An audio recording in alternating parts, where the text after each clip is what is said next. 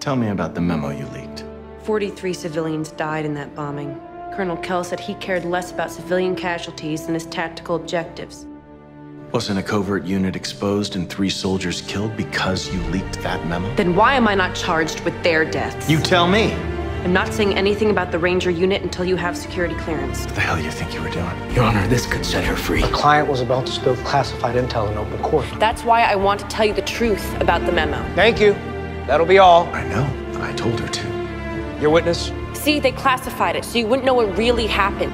You went behind my back? She had to tell the jury she didn't get those Rangers killed. Lieutenant, stop. You'll only make things worse for yourself. You know who got those Rangers killed? Globe spill. They would have charged her, Bull, on another count of espionage. Globe spill did it, not Lieutenant Dale. Benny, don't. Dr. Bull, sit down. Mr. Colón, silence. I told you to trust me. When you didn't trust me. You uploaded a redacted document, no classified information, no Ranger unit. I was trying to protect you. We're under arrest, So you wouldn't get arrested. violating Section 793E of the Espionage Act.